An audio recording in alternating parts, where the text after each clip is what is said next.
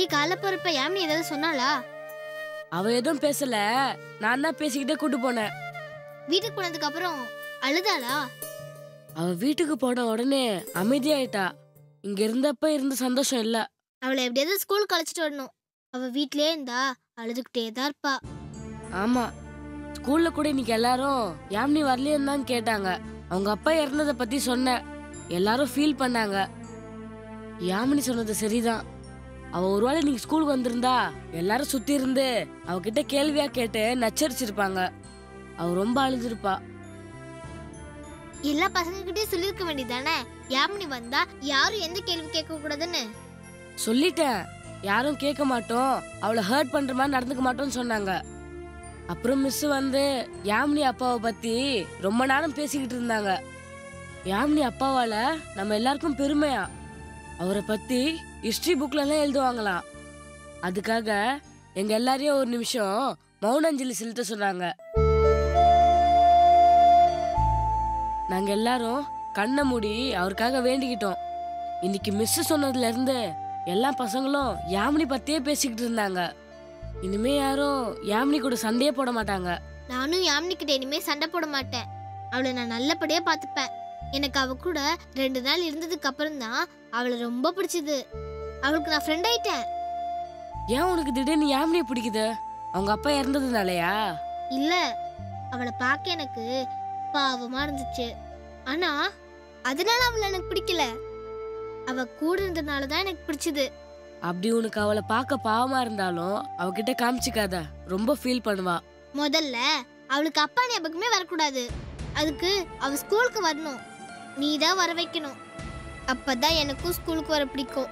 சரி நான் வீட்டுக்கு போய் பேசி பார்க்கறேன். நீ போறப்ப நான் அவளை ரொம்ப மிஸ் பண்ணதா சொல்லு. ஸ்கூல்ல எல்லாரும் கேட்டதா சொல்லு. அவளுக்கு அப்பதான் கொஞ்சமாவது பயம் போகும். இல்லைன்னா வரவே மாட்டா.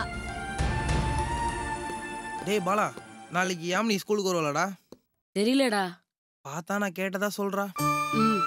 சரி பை பாலா அவளை எல்லாரும் மிஸ் பண்றாங்கன்னு சொல்லு.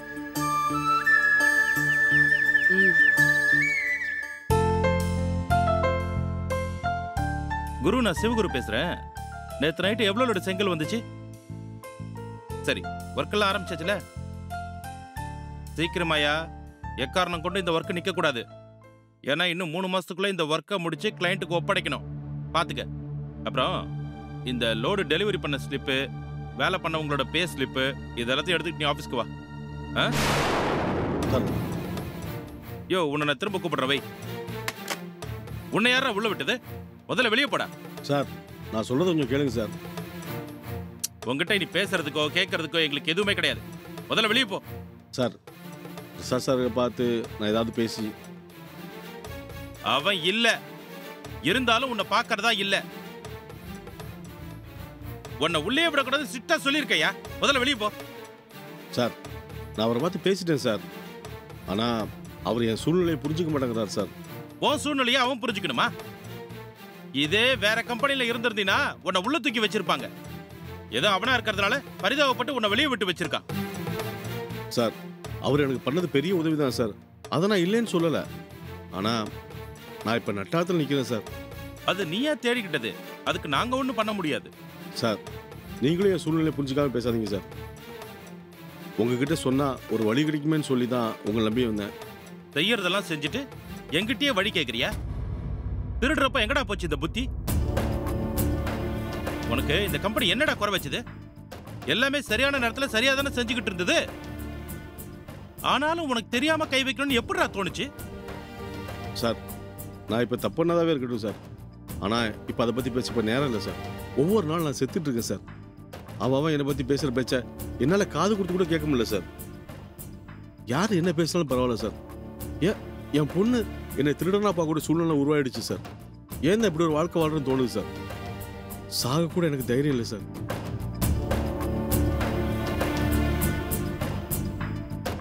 சார் எப்படிதான் உங்கள் தம்பிக்கிட்ட பேசி ஆறு மாசம் மட்டும் என்னை வேலைக்கு வைக்க சொல்லுங்க சார்.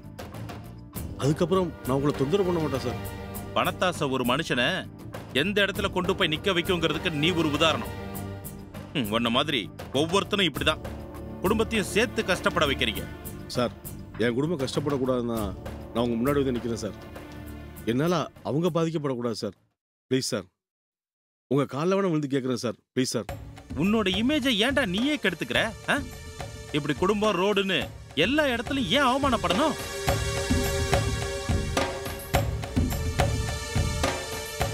வேணா நான் ஒன்று பண்ணுறேன் உனக்கு கொடுக்குற சர்டிஃபிகேட்டில் பிளாக் மார்க் இல்லாமல் குட் அப்படின்னு போட்டு தர சொல்கிறேன் இது கூட இத்தனை நாள் நீ என் கூட இருந்ததுக்காக போட்டு தரேன். இனிமேலாவது புத்திசாலித்தனமா எங்கேயாவது வெளியூர்ல போய் வேலை பார்த்து பழச்சிக்க. அது மட்டும் பார்த்தா சார். நான் தப்பானங்கிற விஷயம் எல்லா இடமும் பரவி போச்சு சார். அதனால் நான் சர்டிஃபிகேட் காமிச்சாலும் அது மாறாது சார். நான் இங்கே இப்போ ஆறு மாதம் வேலை பார்த்ததா சார். எல்லோரும் என்ன நம்புவாங்க சார். இங்க பாரு சதீஷ். இதுக்கு மேல என்னால எதுவுமே பண்ண முடியாது. என்ன கம்பல் பண்ணாத. சார் இனிமேல் என் வாழ்க்கையில் நான் உங்க முன்னாடி வந்து நிற்க கூடாதுன்னு சார் நினச்சிட்டு இருந்தேன். ஆனால் சுற்றி இருக்கவங்க என்னை பந்தாடும் போது தான் என் நிலைமை என்னன்னு எனக்கு புரியுது சார். நான் இப்போ வெறும் ஜீரோன்னு அன்னைக்கு பிரசாத் கிட்ட பேசும்போது என்ன சொன்னா? இனிமேல் உன்னை வேலைக்கு வச்சுக்க மாட்டேன்னு உறுதியாக சொல்லிட்டார் சார். ஆ, நீங்கள் பேசினா மட்டும்தான் சார் அவர் மாறுவார். அது என் மேல வச்சிருக்கிற நம்பிக்கைடா. அதை உனக்காக நான் கெடுத்துக்க முடியாது. ஏற்கனவே பட்டதெல்லாம் போதும். அவன் என்ன சொன்னானோ அதுதான் ஏன் முடிவும். நீ தேவையில்லாம என்கிட்ட பேசி என்னை கஷ்டப்பட வைக்காத. இங்கிருந்து முதல்ல போயிடு. இந்த பக்கம் இனிமே நீ வரவே வராத.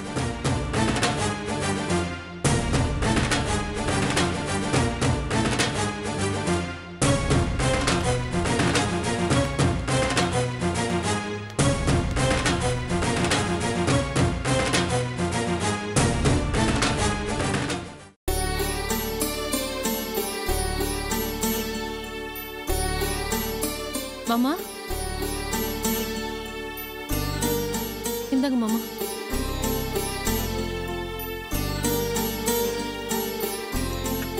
என்ன மாமா இது ஒன்றும் இல்லைம்மா. சும்மா நோட்டீஸ் தான். என்ன நோட்டீஸ் ஊரில் இருக்குல்ல வீடு. அது அடகு வச்ச டைம் முடிய போகுது. இன்னும் இருபது நாள் தான் டைம் இருக்கான் நாம் பணம் கட்டலைன்னா ஏலத்துக்கு விட்டுருவோன்னு கோர்ட்லேருந்து நோட்டீஸ் அனுப்பியிருக்காங்க. இதெல்லாம் நீ பெருசாக எடுத்துக்காதம்மா. அவங்க ஃபார்மாலிட்டியை தான் செய்கிறாங்க நம்ம எப்படியும் பணம் கட்ட போகிறதில்ல அது அவங்க ஏலத்துக்கு தான் விட போகிறாங்க அதை சொல்லிட்டு செய்கிறாங்க அவ்வளவுதான். ஏன் மாமா இப்படி சொல்றீங்க? அந்த வீடு உங்க பூர்வீக சொத்து. ஆமாம்மா. ஆனா திருப்பறதுக்கு தான் பணம் இல்லையேம்மா. நாற்பது லட்சம் இருந்தால் தான் திருப்ப முடியும். இந்த நேரத்தில் நாம என்ன பண்ண முடியும்? பரவாயில்ல. என்ன? ஹ, இந்த காலத்தில் போய் பூர்வீக சொத்து அது இதுன்னு வேண்டி கிடக்கு. இருக்கிறத வச்சு வாழ வேண்டியதாம்மா. இல்ல மாமா. நம்ம அந்த வீட்டை கண்டிப்பா திருப்பி ஆகணும். அது உங்களோட பூர்வீக சொத்து மட்டும் இல்ல. என் புருஷ வளர்ந்த வீடு. அத உங்களுக்கு திருப்பி கொடுக்கணுங்கிறது அவரோட கனவு. அதை நம்ம கண்டிப்பா நிறைவேற்றணும் மாமா. எனக்கு என் புள்ள தான் கூட இல்லை. அவன் வாழ்ந்த வீடாவது இருக்கணும்னு ஆசைப்படுறேன். ஆனா பணம் இல்லையே. முயற்சி பண்ணி பார்க்கலாம் மாமா. அவருக்கு ஒரு இருபது லட்சம் ரூபாய் வரும். பேங்க்ல பணம் சேர்த்து வச்சிருக்கேன்னு சொன்னாரு. அது எவ்வளவுன்னு வேணா செக் பண்றேன். அவரோட ஃப்ரெண்ட் யார்கிட்டயோ கடன் கேட்டிருக்கிறதா சொன்னாரு. அவங்க கிட்ட கேட்டு பார்க்கலாம்.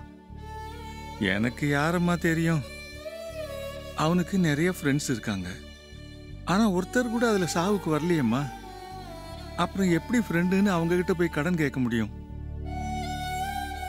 அவருக்கு வர பணம் என்னோட ஜுவல்ஸ் எல்லாம் சேர்த்து எப்படியும் முப்பது லட்சம் ரூபாய் வரும் மாமா? இன்னும் பத்து லட்சம் தானே? தெரிஞ்சவங்க யார்கிட்டயாவது கொஞ்சம் கொஞ்சமா கேட்டா கூட கிடைச்சிடும் மாமா. அதுக்கப்புறம் நான் வேலைக்கு போய் எல்லாத்தையும் அடைச்சிடுறேன். நீங்களும் கேட்டு பாருங்க. அவரோட ஆசையை கண்டிப்பா நிறைவேற்றணும் மாமா. இல்லைன்னா அவரோட ஆத்மா சாந்தி அடையாது. நம்மளால முடிஞ்ச அளவுக்கு முயற்சி பண்ணுவோம்மா. இல்ல விதிப்படி நடக்கட்டும். மாமா நான் வினோதினி கிட்ட இந்த சூழ்நிலையை எடுத்து சொல்லி கடன் கேட்கவா? இல்ல வேற என்ன பண்ணலான்னு யோசனை கேட்போம். வேண்டாம்மா. அது சரியா வரும்னு தோணல. ஏன் மாமா? அவ எனக்காக என்ன வேணா செய்வா. அவளுக்கு என்ன பதினஞ்சு வருஷமா தெரியும். எல்லாம் சரிதாம்மா. ஆனா நல்ல உறவு ஃப்ரெண்ட்ஷிப்லாம் கிடைக்கிறது ரொம்ப கஷ்டம்.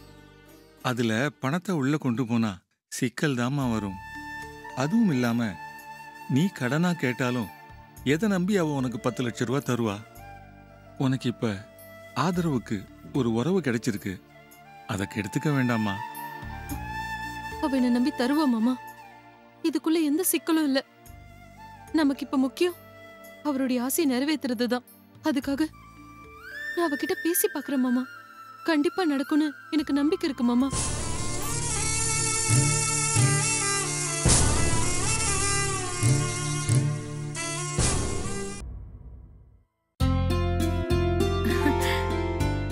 என்ன சம்பந்தி? வந்து வாசல்ல நிக்கிறீங்க? உள்ள வாங்க. இல்ல யாரையுமே ஆளை காணுமா? அதான் வெயிட் பண்ணிட்டு இருந்தோம். யாருமே இல்லனாலும் நீங்க பாட்டுக்கு வந்து உள்ள உட்கார வேண்டியதுதானே? ஏன் யாரோ ஒருத்தர் வீடு மாதிரி பாக்குறீங்க? இது உங்க வருங்கால மனைவி இருக்கிற வீடு தானே இனிமே வந்தா வெளியில நிக்காதீங்க. உள்ள வாங்க. நான் அப்பயே சொன்னேன் இந்த பையன் தான் கேட்கல ஆனாலும் நானும் யோசிச்சிருக்கணும். அப்புறம் சம்பந்தி கல்யாண வேலைகள்லாம் எப்படி போயிட்டு இருக்கு எனக்கு என்னங்க வேலை இருக்கு? எல்லா வேலையும் தான் நீங்களே பாத்துக்கிறீங்களே? அக்கம் பக்கத்துல இருக்கிறவங்க எல்லாம் பொண்ணு கல்யாண வேலையை வச்சுக்கிட்டு எப்படி ஜாலியா இருக்கா பாருன்னு சொல்றாங்க.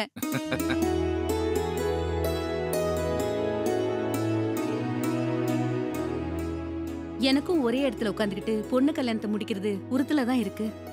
எனக்கும் ஏதாவது வேலை கொடுங்களேன். உங்களுக்கு தான் வேலை வந்துருச்சு.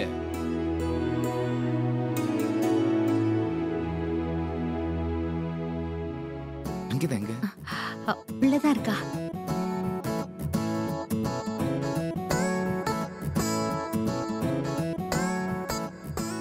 ஐயோ அதெல்லாம் எனக்கு தெரியாது. அவளை சமாதானப்படுத்துறது பெரிய வேலை. நான் போய் அவளை கூட்டிட்டு வரேன். நீங்களே பாத்துக்கோங்க.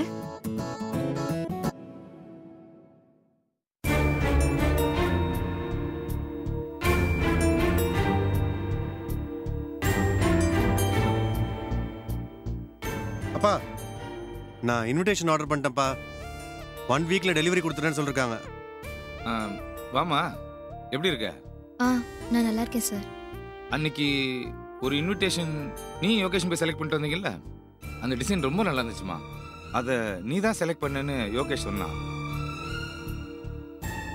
அன்னைக்கு பார்க்குறப்போ கண்ணாடி போடாம பார்த்ததுனால சரியா தெரியலம்மா. அப்புறம் தான் நல்லா பார்த்தேன். டிசைன் சூப்பராக இருந்தது.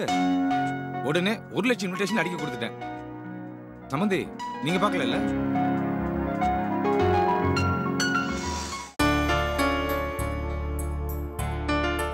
அதை உங்களோட கம்பேர் பண்ணும்போது லோக்கலா இருக்குமே. தெரிஞ்சும் ஏன் செலக்ட் பண்ணீங்க? தகுதியெல்லாம் விட தரம் தானமா முக்கியம். அந்த பத்திரிக்கை தரமா இருக்கு. தரத்தெல்லாம் இப்ப யார் சார் பாக்குறாங்க? அவுட்லுக் ஃபேண்டசி தானே தேவைப்படுது. அதனால தரம் பார்த்துலாம் பழகாதீங்க. இந்த காலத்துக்கு தேவை பணம் தானே சார் நான் சும்மா கம்பேர் பண்ணி சொன்னேன். நீங்க தப்பா எடுத்துக்காதீங்க. சங்கீதா நான் அப்படி பேசுனது உன்னை ரொம்ப புண்படுத்திருக்குன்னு நினைக்கிறேன். சத்தியமா நான் உன்னை தப்பா சொல்லலம்மா. உன் மேல எந்த தப்பும் இல்ல. உன் இடத்துல யார் இருந்தாலும் நான் சொன்னது இப்படிதான் புரிஞ்சுப்பாங்க. இல்ல சார். என்னோட தகுதிக்கு மீறி ஆசைப்பட்டா ஏமாற்றம் அவமானம் வரும்னு இப்போதான் நான் ரொம்ப லேட்டா சரியா புரிஞ்சுக்கிட்டேன். என்னம்மா அப்படி சொல்ற? நான் யார்கிட்டயுமே இப்படி தகுதி பார்த்து பழக மாட்டேம்மா. அதுவும் நீ என் வீட்டுக்கு வர போற மகாலட்சுமிமா உன்னை அவமானப்படுத்தணும்னு நினைப்பனா? நீ என் இடத்துல இருந்து கொஞ்சம் யோசிச்சு பாரு. என்னோட ஸ்டேட்டஸ்ல இருக்கிறவங்க என்ன எப்படி எல்லாம் பார்ப்பாங்கன்னு உனக்கு தெரியும். அவங்க கிட்ட இன்விடேஷன் கொடுக்கும்போதே அவங்க ஆச்சரியப்படணும்னு நினைச்சேன். அவ்வளவுதாம்மா.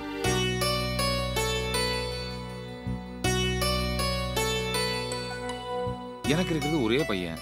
என்னோட சொத்து முழுக்க அவனுக்கு தான் வரப்போகுது. அவனை கட்டிக்கிறதுக்கு மூலமா இதுல நீ அவனுக்கு இணையா உரிமை உள்ளவளா இருக்க. அப்ப உன்னோட ஸ்டேட்டஸும் உயர்ந்துருது.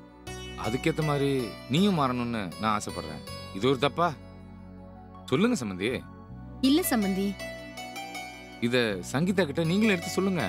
சங்கீதா இப்போ நீ பணக்கார வீட்டு மருமக அதுக்கேத்த மாதிரி மாறி இந்த பொண்ணு கோடி கோடியா கொட்டி கொடுத்தாலும் கிடைக்காதுங்கிற பெருமைய உன் மாமனாருக்கு சொசைட்டில நீ தான் வாங்கி தரணும்னு. அப்பவாவது அவளுக்கு என் மேல இருக்கிற கோவம் குறையும்ல?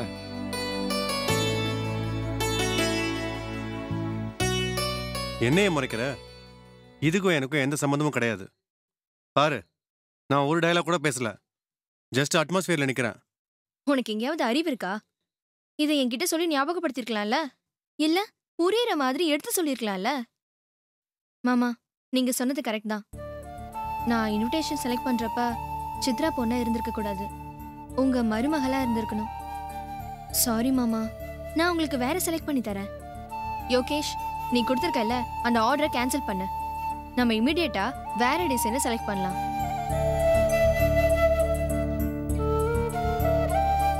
அதுக்கு அவசியமே இல்லை. அப்பா வேற கார்டை செலக்ட் பண்ணி ஆர்டர் கொடுத்துட்டாரு.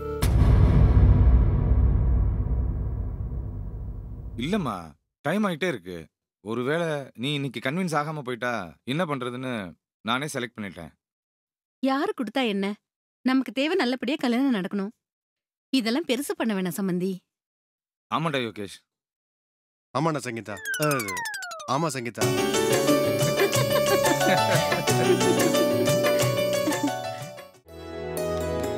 ரெண்டு டீ ஆ கொடுங்க கொடுக்குறேன் திவாகர் அங்க பாரு. என்ன பெருமாளு? என்ன இங்க உட்காந்து டீ குடிக்கிற? உன் லெவலுக்கு பெரிய இடத்துல உட்காந்துல டீ குடிக்கணும் ஆ? என்னையா கிருஷ்ணா? நம்ம லெவல்ல என்னையா இருக்கு? நானே டீ கிட்ட அக்கவுண்ட் வச்சு குடிச்சுக்கிட்டு இருக்கேன். சும்மா சொல்லாத பெருமாளு. நீ முன்ன மாதிரி சாதாரண ஆளா என்ன? நெஞ்சு வலின்னு சொல்லி ஸ்டோர் கீப்பர் வேலையை வாங்கினாலும் வாங்கின. உன் நல்ல நேரம் ஸ்டார்ட் ஆயிடுச்சியா? நல்ல வருமானம்? நீ வேறப்பா. அதே பே ஸ்லிப் தான் அதே அலவன்ஸ் தான். இதில் என்ன வருமானம் அதிகமாக வர்றதுக்கு இருக்குது முன்ன நாள் பஸ் ஓட்டினோமா? மாற்றி விட்டோமா? இறங்கி போனோமான்னு போய்கிட்டே இருப்பேன். இப்போ பல கோடி ரூபா பொருளை நம்ம தலையிலெல்லாம் கட்டியிருக்காக? கட்டியிருக்காங்க மனசு பயத்தில் அடிச்சு கிடக்குதுப்பா. நான் இருக்கிற நிலைமைக்கு ஏதாவது பொருள் காணா போச்சுன்னு வச்சுக்க என்னால் பதில் சொல்ல முடியுமா? டிப்போல இருக்க பொருள் காணாம போறதும் அதுக்கு பொய் காரணம் சொல்றதும் புதுசா என்ன? இதுக்கு தானே ஒவ்வொருத்தனும் டிப்போக்குள்ளேயே வேலை வாங்கிக்கணும்னு தவம் கிடக்குறான். ஸ்டோர் ரூமுங்கிறது காமதேனு. கறக்க கறக்க காசு. என்னை பற்றி உனக்கு தெரியாதா கிருஷ்ணா? நாமெல்லாம் ஒரு வேலையை பார்த்தோம்னா அதில் முதல்ல நேர்மையாக நடந்துக்கத்தானே ஆசைப்படுவோம். நம்மளுக்கு தான் பொய் சொல்ல வராதே. அதெல்லாம் தெரிஞ்சிருந்தா இந்நேரம் நம்ம ஏன் கடனை வாங்கி காலத்தை ஓட்டிக்கிட்டு போகிறோம் ஆனாலும் கண்ணப்பா பெருமாளை மாதிரி ஒரு ஆளை பார்க்கவே முடியாது. எவ்வளவு பேசினாலும் தான் வாயில இருந்து உண்மையை மட்டும் வெளியில விடவே மாட்டாரு. அது என்னமோ உண்மைதான். நம்ம இவ்ளோ வெளிப்படையா பேசினாலும் அவரு திறமை நம்மளுக்கு வர மாட்டேங்குதே ஏன்பா நான் போய் சொல்ல போகிறேன் பதினஞ்சு வருஷம் சர்வீஸில் என் மேலே ஒரு சின்ன பிளாக் மார்க்னால இருக்கா? என்னைக்காவது ஒரு நாள் கவர்மெண்ட் பொருள் சேதாரமாக மாதிரி நடந்திருக்கானா? நாங்களும் அப்படி நினைச்சுதான் ஏமாந்துட்டு இருந்தோம். ஆனா உன் புள்ளைய இவ்வளோ பெரிய ஸ்கூல்ல படிக்க வைக்கும் போது தான் தெரிஞ்சது. எவ்வளோ முட்டாள்தனமா நாங்கெல்லாம் வேலை பார்த்துட்டு இருக்கோம்னு. காசு இல்லாமலையா நீ பையனை அவ்வளோ பெரிய ஸ்கூல்ல கொண்டு போய் சேர்த்திருப்ப? தெரியாம பேசாத கிருஷ்ணா. அந்த ஸ்கூல்ல சேர்க்கறதுக்கு நான் எவ்வளவு கடனை வாங்கி வச்சிருக்கேன் தெரியுமா? அதுவும் ஏன் இவ்வளவு கஷ்டப்பட்டு படிக்க வைக்கிறேன்னா அவன் நல்லா படிக்கிற பையன். நம்மனால வாழ்க்கை கெட்டு போயிடக்கூடாதுங்கிறதுக்காக வேண்டிதான் என்ன பெருமாள்? வெளியாள்கிட்ட பேசிட்டு இருக்க மாதிரி பேசிட்டு இருக்க? நான் என்ன உன்னை தப்பா சொல்லிட்டேன்? நாங்களும் எப்படி பொழைக்கணும் தானே கேக்குறேன்? எங்களுக்கும் உன் புள்ள மாதிரி பணக்கார வீட்டு புள்ளையா எங்க வீட்டு புள்ளைய பார்க்கணும்னு ஆசை இருக்காதா என்ன? கிருஷ்ணா நான் செத்தாலும் நான் பார்க்குற தொழில்ல உண்மையா இருந்துட்டு தான் சாவேன ஒழிய எந்த காலத்திலையும் திருடி வாழன்னு ஆசைப்பட மாட்டேன்.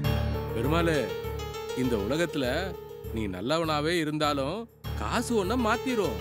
நான் மட்டும் இல்ல மொத்த டிப்போவும் உன்னை பத்தி என்ன நினைக்குதுன்னு தெரியுமா? ரெண்டு பேருங்க எடுத்து வெளியில வித்து காசு சம்பாதிக்கிறாப்ல அதனாலதான் சந்தோஷமா வந்துட்டு சந்தோஷமா போறாப்லன்னு பேசிக்கிறாங்க. இந்த இடத்துல நீ இருந்தா மட்டும் இல்லை வேற யார் இருந்தாலும் ஸ்டோர் கீப்பர்னா நல்ல வருமானம் வரும்னு தான் பார்ப்பாங்க. வரவங்களும் எடுப்பாங்க. இது சகஜம் தானே? இவ்வளோ ஏன்? நானே டிப்போக்குள்ள வேலை வேணும்னு ஆளை வச்சு பேசிக்கிட்டு இருக்கேன். உள்ள வந்த உடனே நானும் உன்ன மாதிரி செட்டில் ஆகணும்ல? எங்கெங்க டீல் பண்ணிட்டு இருக்கேன்னு சொல்லு. வித்துட்டு ரெண்டு பேரும் ஷேர் பண்ணிப்போம்.